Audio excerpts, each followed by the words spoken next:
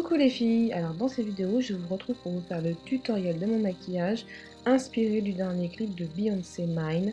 Alors si vous êtes intéressé par la vidéo, c'est maintenant tout de suite. Pour faire ce maquillage, vous aurez besoin d'un fard vert irisé, d'un fard bleu irisé, ensuite d'un violet aussi irisé, d'un violet mat et d'un fard rose flashy mat.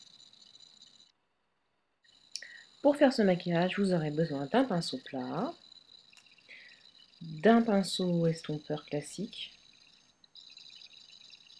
d'un autre pinceau estompeur mais plus fluffy celui-ci, et d'un pinceau pour faire le creux.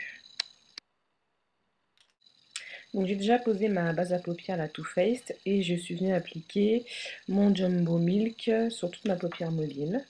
Ça va aider à donner du peps aux couleurs que je vais poser par la suite. Je vais déjà commencer à poser avec mon pinceau plat ma première couleur. Donc c'est le phare Urban Decay, le phare Radium.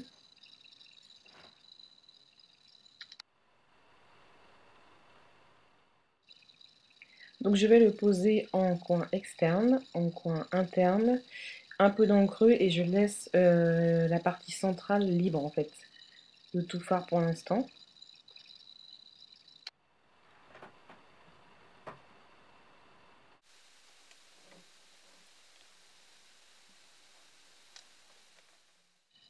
Je prends mon pinceau à, creux et je viens juste l'estomper un peu dans le creux.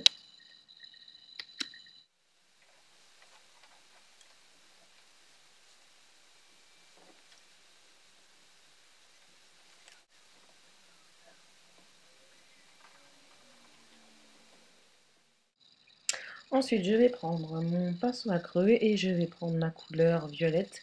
Donc c'est le phare 92 euh, de chez Makeup Forever. C'est un violet mat, vous pouvez le remplacer par n'importe quel violet mat de votre choix. Et je viens l'appliquer dans mon creux de paupière. Donc j'insiste bien dans le creux.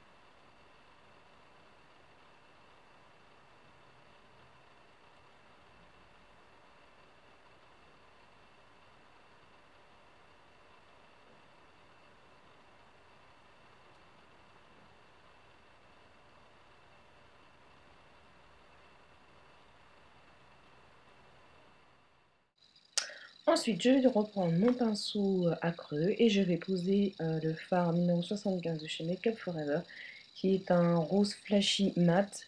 Donc pareil, vous pouvez le remplacer par n'importe quel fard rose mat que vous avez dans vos palettes. Je viens le poser juste au-dessus.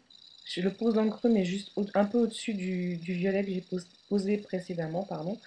Et euh, ça va, du coup, ça va faire une couleur de transition en fait, si je puis dire.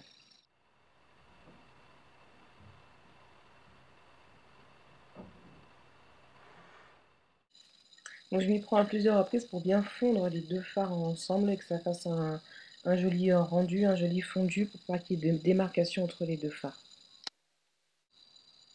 Donc voilà ce que ça donne à ce stade-ci. Voilà. Donc là, comme on est venu travailler le creux précédemment, on va remettre un peu du premier phare, le phare radium, en coin interne et externe, parce que du coup, comme on a estompé et tout, on a perdu un peu en intensité.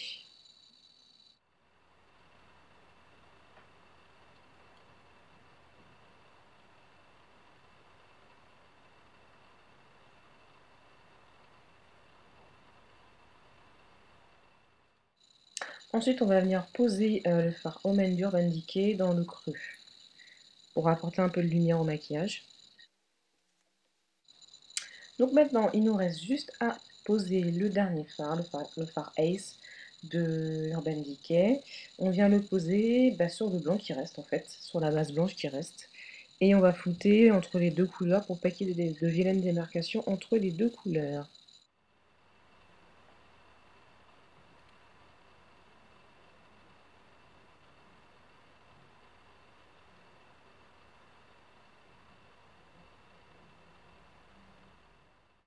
Ensuite, je vais venir encore rajouter du fard radium en coin externe et interne pour avoir vraiment une belle intensité.